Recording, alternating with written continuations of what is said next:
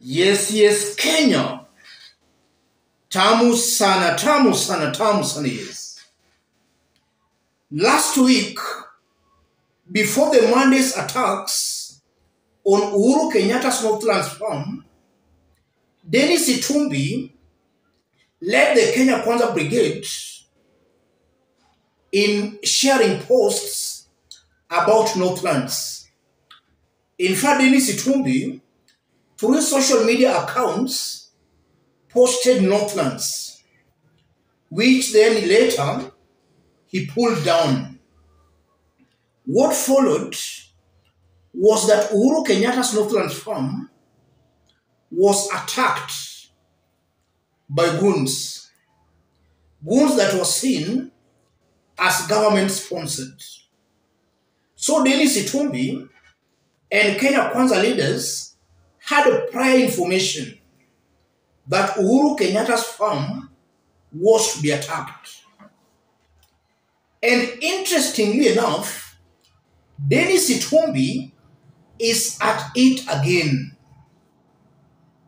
He has, he's already talking about some attacks come Monday. Let's have a look at a post by Dennis Itumbi some few hours ago.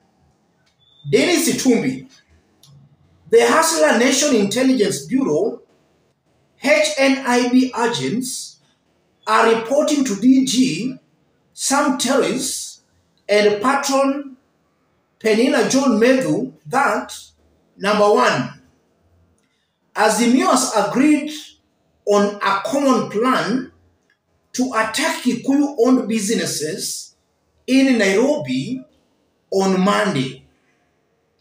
We have already been seen backing President Kenyatta property that belongs to Kikuyu.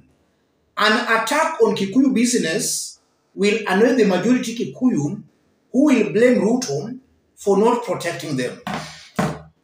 That's a post Dennis Itumbi shared some few hours ago. And from that post, Itumbi is insinuating that Azimio has planned to attack Kikuyu businesses in Nairobi. And is using very clever words here, a common plan. In this video, I want us to dig deep into this for Kenyans to know in advance the games being played behind the scenes, in which I'll also explain why William Ruto's team, Rigathi Gachagua and their leaders, they are very disparate in creating a wedge between the mountain and the lake.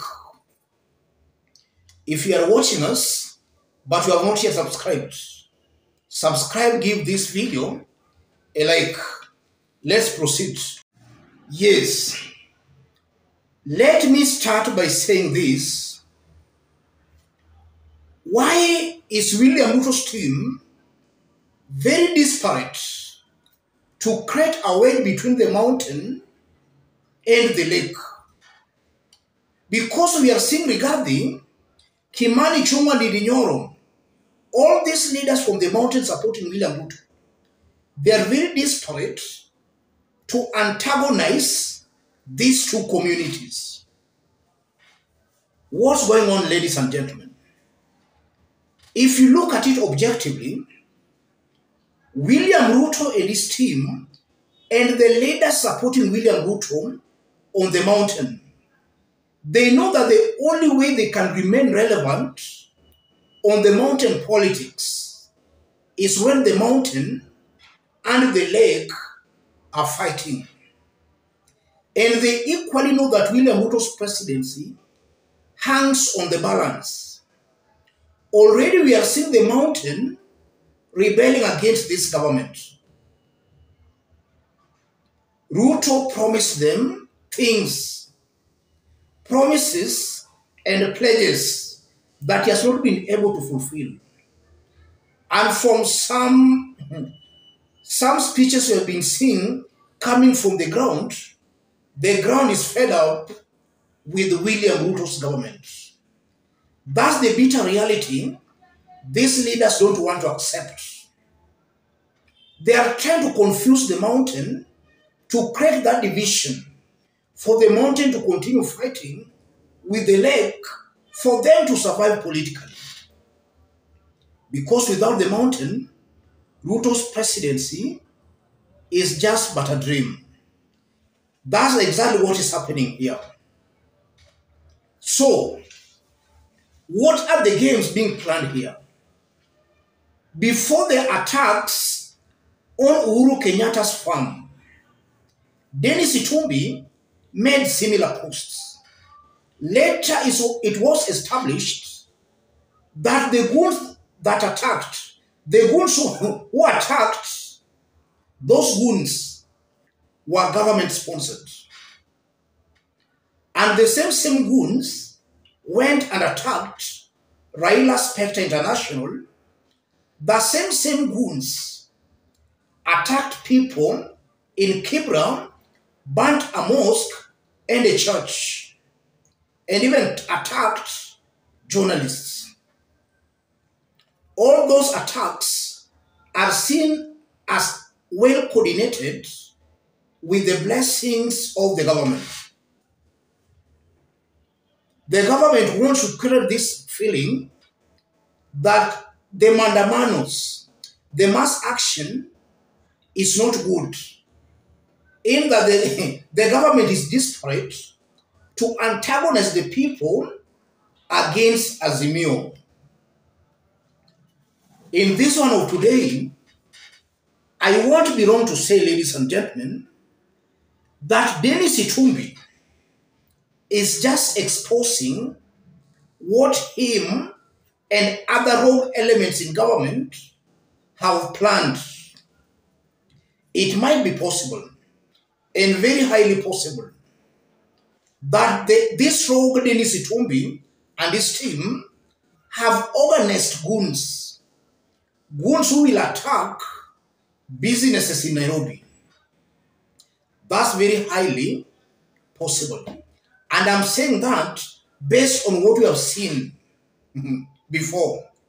And this is why I've always maintained that Ruto and his team, they are very predictable. You just tie the dots and you'll just know exactly what is happening behind the scenes. They always talk the opposite. Kenyans can also still remember some months ago when Dennis Itumbi claimed that Azimio had planned to buy some members of parliament. It never took more than one week. We saw ODM members of parliament at State House, Nairobi. So at that time, it emerged that Dennis Itumbi was just revealing what they had planned, but he was talking indirectly. In this one, I'm fully persuaded and convinced that all this thing Dennis Itumbi is talking about, this is exactly what they have planned. They have, they have a common plan to attack businesses to portray Azimio as bad. So the business community in Nairobi, the Kikuyu businessmen and women, the Kikuyu business community should know that their enemy is not Azimio or Azimio supporters, but the same same government they did elect. It's the government destroying their businesses. From where I sit, my only advice to, to the business community in Nairobi, not only the Kikuyu community, because all Kenyans are doing business in Nairobi, if you can safeguard your stocks, the better. We are dealing with a very rogue government.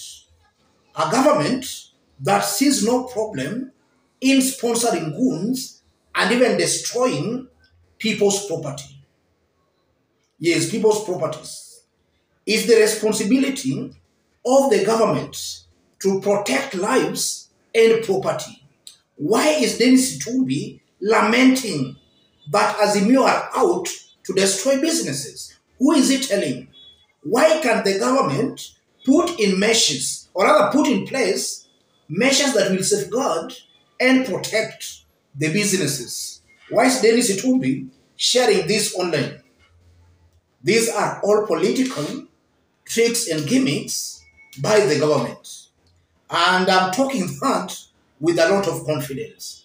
In this channel, we don't know how to sugarcoat things or on how to beat about the bush. We always go direct to the point as it is. We are not here to massage anybody's ego. The truth is that Dennis Itumbi and this team have most definitely, they have a common plan, a plan on how to attack Kikuyu businesses, to create a way between the mountain and the lake. My appeal to our brothers and sisters from the mountain, don't fall into that trap. That's a trap that has been laid out by the government. Let me stop it there. If you are watching us but you have not yet subscribed, subscribe, give this video a like. And to our fans and subscribers here, I'm very much humbled, very grateful for the kind of support you are giving me here. If you want to support our forum, I've pinned my number on the comment section. Contact me through the number. Let's meet in our next analysis.